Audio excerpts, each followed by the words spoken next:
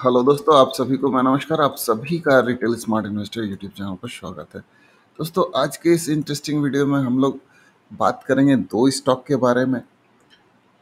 एक तो footwear industry से आती है रिलैक्सो फुटवेयर उसकी चर्चा हम लोग करने जा रहे हैं।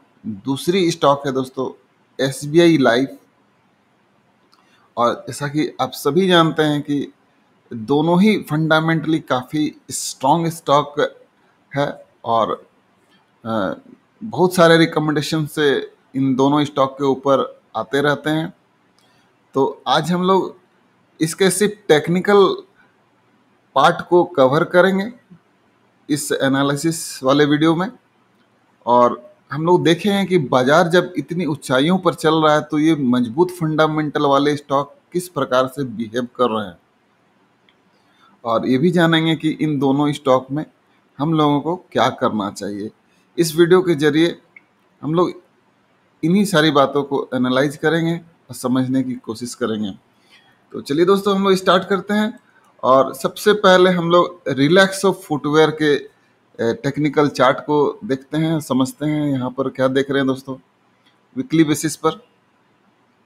यहाँ पर रिलैक्सो फुटवेयर साफ़ साफ़ ब्रेकआउट देता हुआ देखने को मिल रहा है। और ये ग्यारह सौ पचहत्तर रुपये पर क्लोजिंग दिया है लास्ट ट्रेडिंग डे में।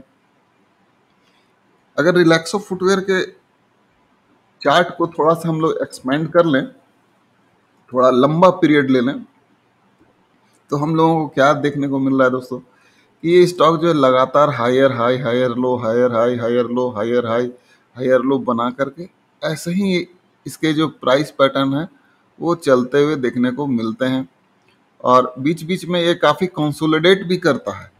अगर पॉइंट ऑफ़ कंसोलिडेशन देखें तो यहाँ पर देखिए, ऐसा नहीं है कि ये मौका नहीं देता है लोअर लेवल पर खरीदारी के। ये देखिए, ये अपने उच्चतम स्तर से टूट करके यहाँ पर आया था। और इस जगह पर इन्होंने बहुत दिनों तक खरीदारी का मौका दिया। उसके बाद फिर देखिए, ये ब्रेकआउट दिया, फिर इसमें करेक्शन आया। फिर ये काफ़ी दिनों तक ये देखिए कंसोलिडेशन में चला। उसके बाद फिर इसने ब्रेकआउट दिया। फिर ये देखिए इतने दिनों तक कंसोलिडेट किया। अब ये फिर से ब्रेकआउट दिया, ठीक है? अब क्या हो रहा है दोस्तों? अब इसके जो कंसोलिडेशन के पीरियड हैं, वो कम हो गए। अब यहाँ पर देखिए one two three three weeks के लिए इसने कंसोलिडेशन किया। अब ये फ्रेश ब्रेकआउट दे रहा है तो हम लोग ये मान के चलेंगे कि इसमें इन स्तरों से रैली आएगी। और रैली क्यों आएगी, इसकी चर्चा हम लोगों ने लास्ट वीक ही इस पर वीडियो अपलोड किया था फुल फंडामेंटल और टेक्निकल एनालिसिस करके। आप उस वीडियो को खोज करके देख सकते हैं। अब उस बात की चर्चा हम लोग इस एनालिसिस में नहीं करेंगे। अब बात करते हैं दोस्तों कि जब इसने ब्रेकआउट दे ही दिया है तो इसके टारगेट इमीडिएट क्या हो सकते हैं? तो इसके लिए हम लोगों को इसके जो टेक्निकल चार्ट हैं वीकली चार्ट हैं, उस पर कुछ रेसिस्टेंस एंड सपोर्ट्स ड्रॉ करने होंगे। उसके बाद फिर हम लोग इस पर बात करते हैं। तो हम लोगों ने टेक्निकल चार्ट पर सपोर्ट एंड रेसिस्टेंस ड्रॉ कर लिया है और यहाँ पर जो स्थिति बनते हुए देखने को मिल रही है उस हिसाब से आने वाले दिनों में इस स्टॉक में जो तेज़ी बन रही है, वो इसको तकरीबन 1570 के लेवल पर हम लोग जाता हुआ देख पाएँगे रिलैक्स ऑफ़ फुटवेयर को। लेकिन ध्यान दीजिएगा दोस्तों, ये लंबे समय का टारगेट है। जब इसमें रैली आई है तो रैली चलते रहेगी बीच बीच में करेक्शन भी देखने को मिलेगा।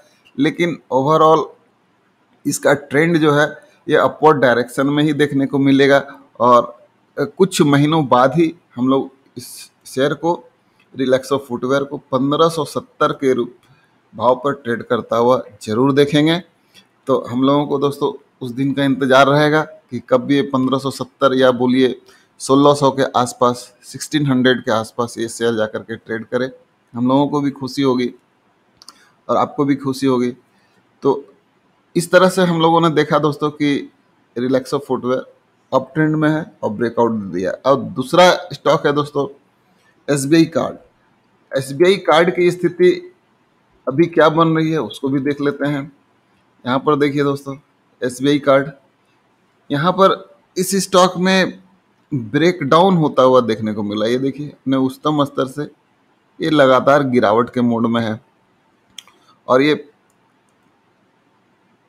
पूरे एक सप्ताह गिरा, फिर ये दूसरा सप्ताह में भी ये डाउनवर्ड ट्रेंड में है।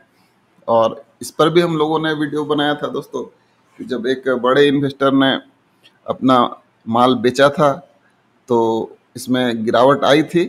और उस समय हम लोगों ने जब वीडियो बनाया था तो उस समय संभावना व्यक्त की थी कि इसमें और भी गिरावट देखने को मिल सकती है।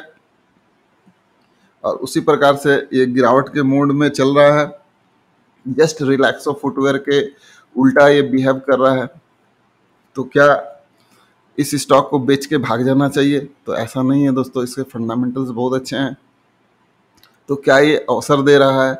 तो बिल्कुल अवसर दे रहा है दोस्तों कि हम लोग इसको निचले स्तरों पर खरीदारी करके चलें और लंबे समय तक बने रहें। तो जिस प्रकार से हम लोगों ने रिलैक्सो में भी देखा था कि बीच बीच में उसमें भी हम लोगों को करेक्शन देखने को मिला था और जब कंसोलिडेशन मोड में था तब हम लोग इसमें ख़रीदारी करके चले थे तो इसमें बार बार ब्रेकआउट आता था और इसने रिटर्न दिया था। तो उसी प्रकार से दोस्तों, अगर एसबीआई कार्ड के बारे में हम लोग बोले तो ये भी काफ़ी अच्छा मौका दे रहा है। अगर इसके भी कंसोलिडेशन और रैली की बात करें दोस्तों तो ये देखिए, यहाँ पर काफ़ी छोटा कंसोलिडेशन देता है।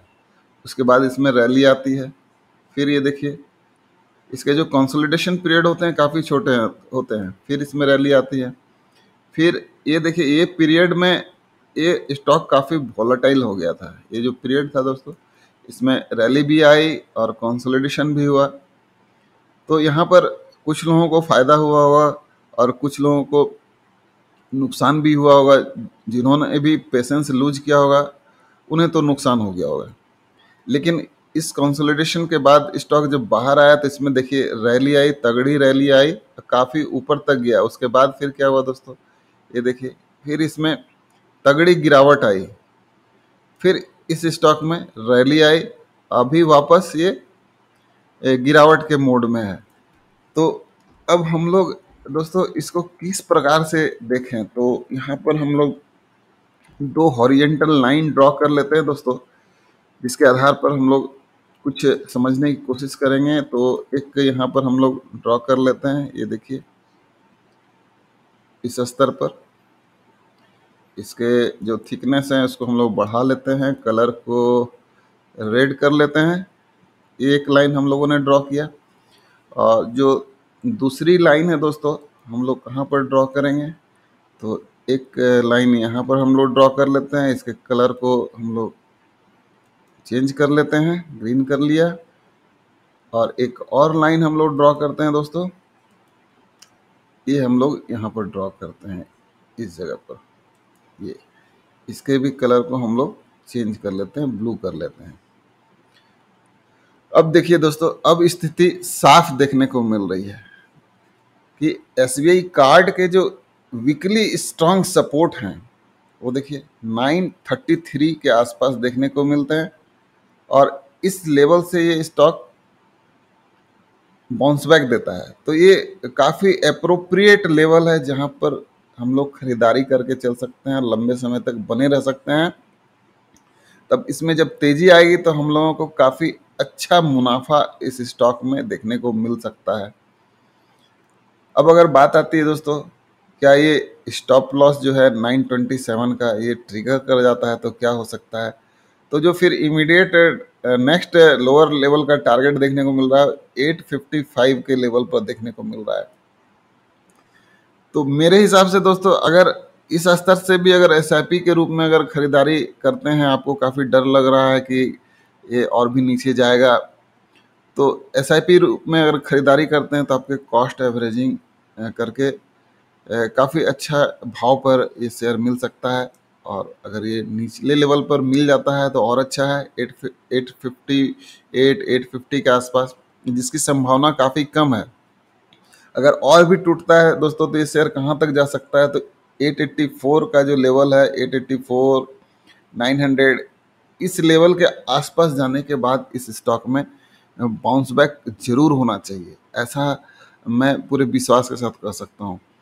तो अब हम लोगों को देखना होगा कि ये कब बाउंस बैक देता है, लेकिन ये काफ़ी अच्छे लेवल पर आ गया है कि अगर इसमें हम लोग खरीदारी करके चलें और लंबे समय तक बने रहें तो ये काफ़ी अच्छा रिटर्न दे सकता है।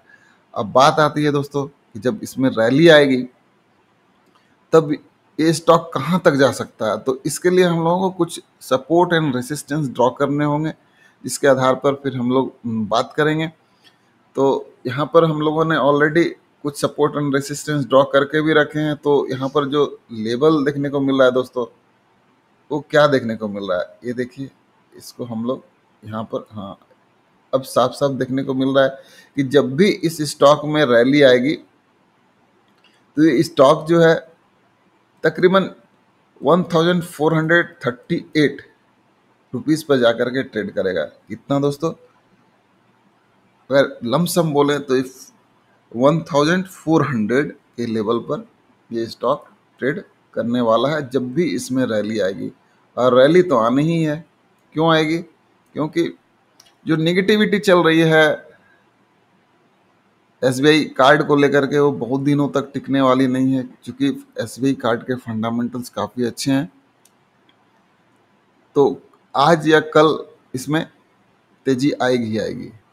तो उम्मीद करता हूँ दोस्तों कि जो टारगेट्स हम लोगों ने सेट किए एस कार्ड के बारे में और रिलैक्सो फुटवेयर के बारे में, वो दोनों ही अचीव होता हुआ हम लोग देख पाएँगे और अवश्य ही अचीव होंगे, ऐसा हम लोग पूरे विश्वास के साथ कर सकते हैं।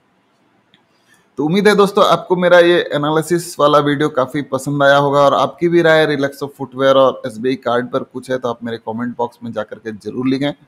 और अपनी भी जानकारी मुझसे शेयर करें।